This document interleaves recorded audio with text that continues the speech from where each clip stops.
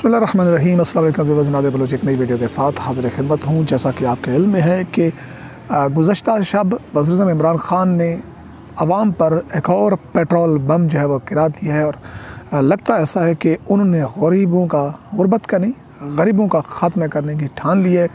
اور اس کے پیچھے کیا مسائل ہیں؟ گزشتہ شب ان کا انٹرویو اور اس سے پہلے یکم کو یہ کہنا کہ قیمتیں برقرار اور پھر پندرہ تاریخ کا اعلان انتظار بھی نہ کرنا یعنی کہ حکومت کی کوئی ایک زبان، ایک عہد، ایک ایفا ہمیں نظر نہیں آتا۔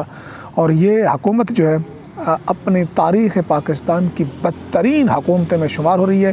اس کا جائزہ لینا ہے اور اس کے ساتھ آپ کو یہ بتانا ہے کہ پیرنی پیرنی کا معاملہ کیا ہے اور آخر کیا وجہ ہے کہ سلیم صافی اس وقت ٹویٹر پر تختہ مشق بنے ہوئے ہیں؟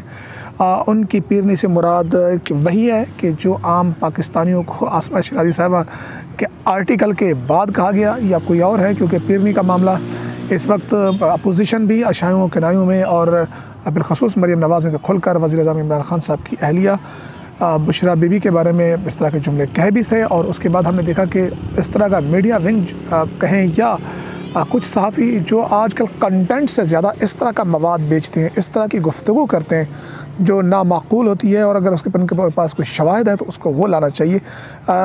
سلیم صافی نے کہا کیا اور اصل موقف کیا تھا اور اس کے بعد بنی کیا صورتحال اور شہباز گل صاحب نے جو جملے کہی یہ تمام چیزیں میں آپ کے ساتھ آج اس ویڈیو میں آپ کے ساتھ شیئر کروں گا، آپ سے درخواست ہے۔ کہ اگر آپ نے اب تک چینل کو سبسکرائب نہیں کیا تو چینل کو سبسکرائب کر لیجیے بیل آئکن کو پریس کیجیے تاکہ آنے والی ہر ویڈیو کا آپ کو نوٹیفیکیشن مل سکے۔ یوں آپ کو اور میرا تعلق جو ہے وہ جڑا رہ سکے۔ اور آخر میں کامنٹ سیکشن میں اپنی رائے کا اظہار ضرور کیجیے تو دوستو، سب سے پہلے تو میں عوامی ایشو پر بات کر لیتا ہوں۔ اس کے بعد پیرنی کی اور خود ہمارے ذرائع کیا کہتے ہیں اور یہ معاملہ ہے کیا؟ یہ الزامات ہیں۔ اس پہ میں آپ سے بات کروں گا۔ لیکن سب سے پہلے عوامی ایشو کی بات کرتا ہوں کہ وزیر اعظم عمران خان صاحب جب دھرنا یہاں پہ اسلام آباد ربر پنڈی بند تھا، جب یہاں پر کنٹینر لگے ہوئے تھے، جب ایک احتجاج کی کال تھی، تو اس وقت انہوں نے قیمتیں بڑھانے کی سمری کو رد کرتے ہوئے قیمتوں کو برقرار رکھنے کا فیصلہ کیا۔ اس وقت پاکستان کے جب قیمتوں کو برقرار رکھا، ایک سو اٹھتیس روپے پر پیٹرولیم مصنوعات کی قیمتیں تھیں، تو اس وقت بھی یہ پاکستان کی تاریخ کی سب سے بلند ترین سطح پر یہ قیمتیں تھیں۔ وزیر اعظم عمران خان صاحب جب معاہدہ یہ کامیاب ہوا، طریقہ لبیک کے ساتھ۔ اس کے بعد وہ ایک دن بعد قوم سے خطاب کے لیے آئے اور خطاب کرنے کے ساتھ انہوں نے بہت سی چیزیں باور کرائیں کہ میں اتنے ایک سو بیس ارب کا جناب پیکج لا رہا ہوں ریلیف دے رہا ہوں، فلاں کر رہا ہوں۔ یعنی کہ کوئی جھوٹ کی کوئی حد ہوتی ہے کہ اگر آپ نے ریلیف دے نہیں ہے تو پیٹرولیم مصنوعات پہ دے دیں نا۔ آپ سبسڈی کو چھوڑ دیں۔ پیٹرولیم مصنوعات کو دیں گے تو جب قیمتیں اشیاء خوردنوش کی نہیں بڑھیں گی سسٹین رہیں گی تو یہ خود بخود ریلیف ہو جائے گا۔ لیکن آپ نے اس میں یہ بھی کہا کہ ہمیں بڑھانا پڑیں گی اور پھر حکومت کا یہ ہوتا ہے، حکومت ہر پندرہ پہلے یہ مہینے بعد قیمتیں بڑھاتے تھے، پھر یہ حکومت، یہ سرکار خصوصی طور پر ایسے یعنی کہ خدا نے ہمارے اوپر مسلط پتہ نہیں کس نے مسلط کیا جس نے بھی کیا اللہ تعالیٰ اس کو جو ہے، اس کا حساب کرے گا۔ اب یہ حکومت پہلے مہینے کی بات کی کہ جو مہینے بعد قیمتیں تبدیل ہوتی تھیں چاہے وہ انٹرنیشنل مارکیٹ میں سستی ہوتی تھی اور اگر انہیں مہنگی مقرر کرے وہ ایک مہینہ پورا ہوتا تھا، لیکن پھر ان یہ پندرہ دن کے بعد پندرہ دن بعد ہر پندرہ دن کے بعد ہم قیمتوں کا جائزہ لیں گے۔ ٹھیک ہے بھائی، یہ بھی قوم نے مان لیا۔ اب کیا ہوا کہ یکم تاریخ کو آپ نے قیمتیں برقرار رکھنے کا فیصلہ کیا اور آج جب رات پانچ کے پانچ بجے آپ اپنے رات کی تاریخی میں نوٹیفیکیشن جاری کر دیا اور ڈائریکٹ آٹھ روپے قیمتیں بڑھا دی اور قیمتیں جو ہیں اب ایک سو پنتالیس سے بھی اوپر ہو گئی ہیں اور اس وقت مہنگائی کا ایسا طوفان آ رہا ہے کہ جس سے چوری، چکاری اور اس طرح کے جو مسائل ہیں وہ بڑھ جائیں گے۔ ڈھاکہ زنی، کیا کریں لوگ؟ کس طرح کھائیں؟ کس طرح گزارا کریں؟ عمران خان صاحب، آپ تو کہتے ہیں کہ آپ کو تین لاکھ روپے میں آپ کا گزارا نہیں ہوتا۔ ان کا سوچیے جن کی تنخواہیں دس ہزار ہیں، آٹھ ہزار ہیں، آج چار سو روپے پہ گھی پہنچ چکا ہے۔ ٹماٹر دیکھیں، ڈھائی سو روپے پہ پہنچ گئے۔ اشیاء خرد و نوش بندہ کھا نہیں سکتا۔ تو یہ صورتحال ہے اور حکومت ہے۔ بس اب کیا کہیں اس کو کہ ان کی کوئی زبان نہیں، کوئی بات نہیں۔ آپ پندرہ دن اور رات کو اپنے اچانک نوٹیفیکیشن جاری کر دیا، پھر وہی آٹھ روپے اور وہ سمری جو ہے آپ نے منظور کر لی اور ایک پیٹرول بم جو ہے گرا دیا ہے۔ تو بہرحال یہ حکومت اب اس پہ آپ کا اور میرا سب کا فرض بنتا ہے۔ آواز اٹھائیں، بات کریں اور ان کو جواب دے بنیں اور جو جو آپ کے M N As M P As ہیں، ان کو میسیجنگ کریں، اپنے جذبات پہنچائیے ان تک کہ یہ آپ غلط کر رہے ہیں اور اس کا آپ کو سیاسی، آپ تاریخ میں پہلی مرتبہ حکومت میں اور یہ آخری مرتبہ عمران خان صاحب یہ ثابت ہوں گے آپ۔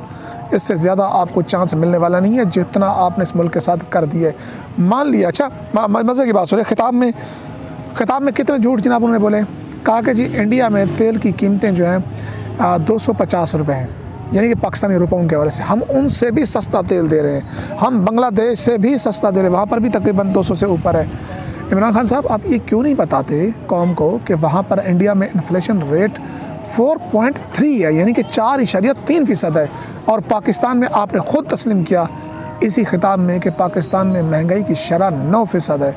کہاں نو فیصد اور کہاں چار فیصد، چار اشاریہ تین فیصد، ڈبل ڈبل سے بھی زیادہ ہے مہنگائی یہاں پر۔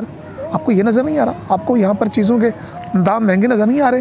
ہر چیز پھر کہتے ہیں کہ جی باہر سے چیز ہمیں مہنگی ملتی ہے، ہم باہر بیچتے ہیں، کوئی ایک زبان پہ تو کھڑے ہو اب جب باہر کی مثالیں دیتے ہیں، وہاں کی تیل کی اور فیول کی، تو پھر اس چیز کو بھی تسلیم کریں کہ آپ مہنگائی کو کنٹرول کرنے میں مکمل طور پر ناکام ہوئے ہیں۔ وہاں پر پر کیپیٹل انکم انڈیا میں جو ہے، اس وقت ہے، وہ یعنی کہ فیکس آمدنی جو ہے وہ ہے تقریباً کوئی انیس سو ڈالر۔ یہ یہ جو اقوام متحدہ کے ادارے ہیں، وہ اس کو رپورٹ کر رہے ہیں کہ وہاں پر پر کیپٹل انکم جو ہے، فیک آمدنی جو ہے، وہ انیس سو ڈالر ہے۔ اور پاکستان میں ایک ہزار سے گیارہ سو۔ کتنا فرق ہے؟ وہاں کی قوت خرید اور یہاں کی قوت خرید میں زمین و آسمان کا فرق ہے۔ اب آتا ہوں جناب سلیم صافی کے بارے میں۔ سلیم صافی صاحب نے رات ویلا کیا، وہ کہتے ہیں نا، کچھ لوگ ڈسکس نہ ہونا تو وہ ایسی بات چھیڑ دیتے ہیں۔ کہ پھر وہ ڈسکس ہونا شروع ہو جاتے ہیں۔ انہوں نے ایک بات کی اپنے پورے ویلاگ میں پیروں اور اور پیروں اور پیرنیوں اور اس کے بارے میں ان کو خبریں ملی۔ وہ بھی پشاور سے دو کہ جی ایک پیرنی نے جو ہے دو گھر لوٹ لیے۔ اسی کو موضوع بنا کر انہوں نے خطاب کیا اور آخر میں جو کہا وہ میں چاہوں گا آپ سنیے۔ یہ گفتگو سنیے پھر میں آپ کے آگے چل بتاتا ہوں۔ گزارش ہوگی کہ اس وقت اس ملک کے لیے اور اس معاشرے کے لیے یہ جعلی پیر اور جعلی پیرنیاں ایک بڑا مسئلہ بن گئی ہیں۔ یہ جعلی پیر یا جعلی پیرنیاں، وہ اگر گھر کے اندر گھس جائیں تو گھر کو تباہ کر دیتی ہیں۔ وہ اگر خاندان کے اندر گھس جائیں تو خاندان کو تباہ کر دیتی ہیں۔ اگر سیاست کے اندر گھس جائیں تو سیاست کو تباہ کر دیتی ہیں۔ اور اگر ریاست کے اندر گھس جائیں تو ریاست کو تباہ کر دیتی ہیں۔ اس لیے ان لوگوں سے بہت زیادہ محتاط رہنے کی ضرورت ہے۔ اگر بیماری ہے تو معالج سے رجوع کیا جائے۔ اگر کوئی دنیاوی مسئلہ ہے تو اللہ سے مدد مانگ کے اس کے لیے دنیاوی اسباب کیے جائیں۔ اگر اولاد اور جادو ٹونے اور اس طرح کی چیزوں کا مسئلہ ہے تو اللہ کی اپنی کتاب یعنی قرآن مجید اور احادیث رسول وہاں پہ ہمارے لیے واضح احکامات موجود ہے کسی جعلی پیر یا جعلی پیرنی کے ہاتھوں اپنے آپ کو لٹانے سے بہتر ہے کہ اللہ کی کتاب اور سنت اور حدیث سے رجوع جناب علی، آپ نے سن لیا کہ وہ کس طرح یعنی کہ انہوں نے پھر آخر ایوان اقتدار سیاست کو تباہ کرتے ہیں، فلاں کو برباد کر دیتے ہیں۔ اگر آپ صافی ہیں، جنون صافی ہیں، تو سلیم صافی صاحب، آپ اس کے اوپر ایویڈنس لے کے، ثبوت لے کے پھر میں بھی آپ کے ساتھ کھڑا ہوں گا۔ ورنہ کسی ایک ایسی عورت کے بارے میں، جس کے بارے میں کسی اپوزیشن لیڈر نے کہہ دیا ہے میرے خیال ایک خاتون جو پبلک آفس بھی ہولڈ نہیں کرتی اور خواتین کو سیاست میں استعمال کرنا میرے خیال میں ایک انتہائی گھٹیا اقدام ہے۔ اور شہباز گل نے تو یہاں تک کہا کہ منہ سے گند بکتے ہیں، وہ بھی پھر ماشاءاللہ اپنی زبان و بیان میں بہت ہی اعلیٰ اس پہ پہنچے ہوئے ہیں۔ تو اس طرح کی زبان استعمال کریں۔ بہرحال خواتین کے اوپر احترام کرنا چاہیے، آپ کے پاس شواہد ہیں تو آپ لائیے، ورنہ آسم شرائی صاحبہ والا کام نہ کیجیے اور یہ غلط کام ہے جس کی ہم مذمت کرتے ہیں۔ نئی ویڈیو نئی ولا کے ساتھ حاصل خدمت ہوں، مجھے اللہ حافظ